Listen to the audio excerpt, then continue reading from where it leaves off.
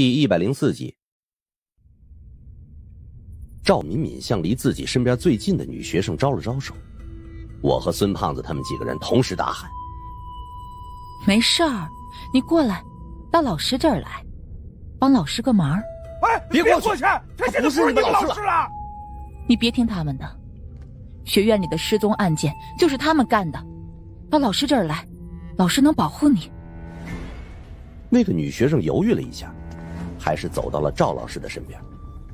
有了一个，就有第二、三、四、五个。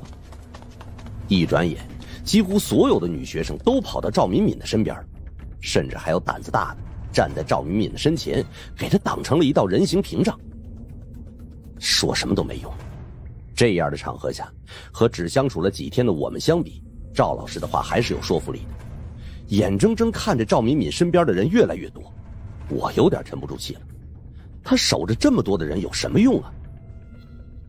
就在我胡思乱想赵敏敏的用意的时候，突然脑袋里响起了一个声音：“沈浪，这个距离一枪干掉他，有没有问题？”我吓了一跳，这是杨潇的事儿。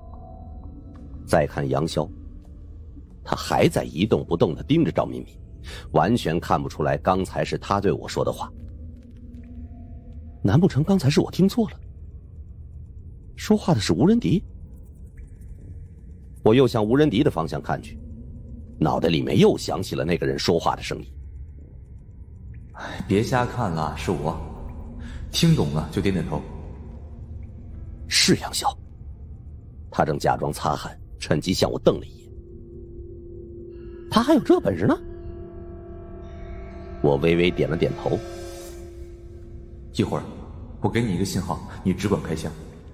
记住，打要害要一枪毙命，他不会给你第二枪的机会。我又轻轻点点头。杨潇转过头来看着赵敏敏。我现在是气血亏虚，不过对付你这个孙子辈的足够用了。小丫头，今天我就替你爷爷教训教训你。陈浪，开枪！杨潇是学会孙胖子这一手了。我举起手枪，对着赵敏敏的脑袋就扣动了扳机。枪声没有响起来，一颗子弹卡在弹仓里。开什么玩笑？这个时候子弹卡壳？我的枪声没有响起来，倒是提醒了孙胖子，他也抽出了手枪，对着赵敏敏就是一枪。由于前后左右全都是女学生，孙胖子怕失手，最后选择了赵敏敏的胸口扣动了扳机。一声枪响，赵敏敏应声倒地，周围的女学生乱成一片。孙胖子高呼就要过去查看赵敏敏的尸体，心脏部位中枪，九成九这个玩意儿是死了。打中了！别过去！孙胖子已经走了几步，听到他俩的话，硬生生的停住了脚步。我也看出了不对劲儿。赵敏敏虽然一动不动躺在那儿，可是她中枪的部位却连一滴血都没有流出来。赵老师死了，他们杀了赵老师。刚才第一个走到赵敏敏身边的女同学哭着向赵老师的身前走去，到了赵敏敏的身边，哭声戛然而止。她发现倒在地上的赵老师不像是中枪身亡的样子。赵敏敏虽然躺在地上，但是她的身体正慢慢的抖动着，而且抖动的频率也越来越快。赵老师没死，快过来救！他的话还没有喊完，身后的赵敏敏猛地从地上跳起来，将喊话的女学生摁在地上，张嘴对着他脖子上的颈动脉就咬了起来。就知道他没有那么容易死。我和孙胖子一起向赵敏敏开了十多枪，中枪的赵敏敏只是被子弹的冲击力打得顿了几顿。之后继续咬着那个女学生脖子，一口一口的吞咽着伤口里冒出来的鲜血，直到我和孙胖子的子弹都打完了，也没有对赵敏敏造成任何实质性的伤害。我们的手枪可是民调局特制的，无论是人是鬼，中枪必亡。林火就是死在我的枪下，不可能连一个赵敏敏都解决不了。我换上最后一个备用弹夹，枪口对着赵敏敏，却在犹豫开不开枪。孙胖子的子弹已经全部打光。他收了手枪，抽出甩棍，不过并没有上前的意思，反倒是后退了几步。吴主任，老杨，这这枪打不死的，现在怎么整啊？吴仁迪这个时候已经到了我的身后，他从腰后面抽出了一把长匕首，和三叔给我的那把一模一样。真不知道他还有多少把这样的短刀啊！吴主任手握短刀，对着赵敏敏的头。一刀就劈了下去。这一刀，平心而论，和当初在水帘洞的时候已经不可同日而语了。眼见赵敏敏的头就要分家，他好像察觉到了，放开了女学生的身体，双脚一蹬地，身子借力后退了十多米远。那个女学生已经气绝身亡，周围的女同学已经乱成了一锅粥，有哭的，有喊的，有叫的。有机灵的已经跑到了杨潇的身后，其他的人都一一效仿。转眼之间，赵敏敏的周围就剩下我和吴仁迪两个活人。我抬枪还要射击，被吴仁迪拦住。嗯，他是半尸，你现在打不死他。半尸？这我可有点头大了。之前郝文明就跟我说过。民调局这种特制的枪弹并不是万能的，弹头上面的符咒对于一些横跨阴阳两界的生物起不到任何作用。我让他举一个例子的时候，郝主任的原话就是：“见到半尸就绕着走。”半尸，顾名思义就是半人半尸的生物。民调局的资料里是这么记录的：半尸是人在死前。通过特殊的方法将魂魄禁锢在自己的体内，死后魂魄不离自身，肉身不腐，体内不生湿气，行动坐卧与常人无异。曾经在一个时期内，半尸被认为是长生不老的一种形式。半尸很巧妙地维持了体内的阴阳平衡。民调局的一般制式装备很难对半尸形成杀伤力，但是半尸的弱点也十分明显。三年之后，半尸体内会慢慢产生湿气，皮肤和肌肉也会逐渐萎缩，阴阳平衡被打破，半尸也就会变成类似僵尸的物体。此时，民调局的制式装备会对第二阶段的半尸产生杀伤力。我突然反应过来，这不就是干尸吗？